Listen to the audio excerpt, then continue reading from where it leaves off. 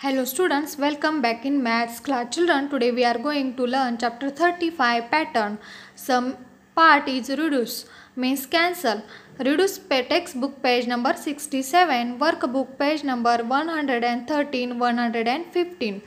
Today children we will learn textbook page number 66, 68, workbook page number 112 and 114. So children let us start open textbook page number 66 and 68. Children, observe the different patterns given in your book, textbook page number 66. Observe the pattern shown below. We see many such patterns in our surrounding. Children, in your textbook also you are observing many patterns. See children, open page number 66. Pattern is repeated arrangement of numbers, shapes and colors. Now children, open page number 67 is reduced cancelled from the syllabus textbook. So open page number 68.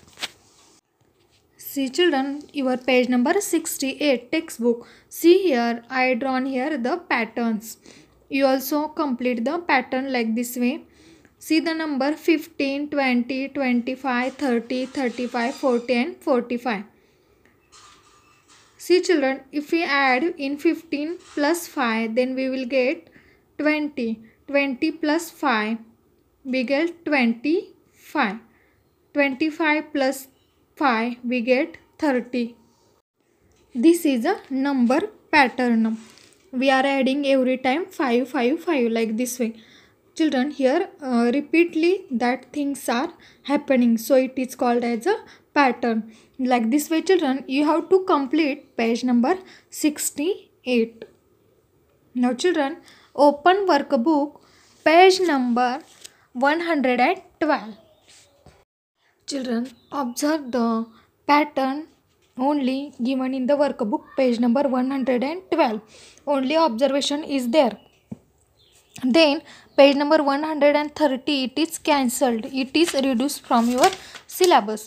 Now children open page number 114. Now children open workbook page number 114. I have solved here some patterns. You also complete like this way. Last example you have to try yourself. Now children it's time of homework. Now children it's time of homework. Today's homework complete textbook page number 68. Complete workbook page number 140. Thank you. Have a wonderful and fresh day.